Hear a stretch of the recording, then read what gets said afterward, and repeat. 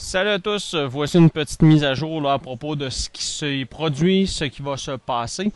Euh, J'ai parlé avec les gens de la base de Bagotville. On me rapporte 22 mm de pluie qui seraient tombés en quelques minutes, des rafales de vent qui ont atteint 72 km h Fait qu'on s'entend que c'est pas négligeable. On a vu beaucoup de pannes électriques et tout ce qui vient avec.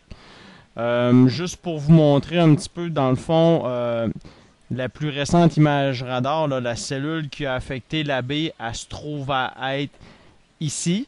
Euh, on a une nouvelle ligne d'orage qui va affecter le lac Saint-Jean ainsi qu'une petite partie du Saguenay, je vous dirais, dans les prochaines minutes.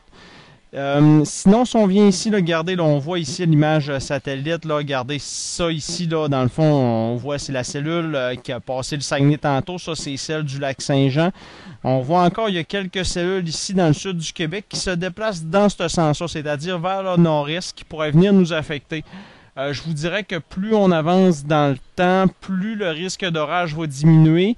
Et euh, si des orages se produisent, elles seront de courte durée et de courte intensité.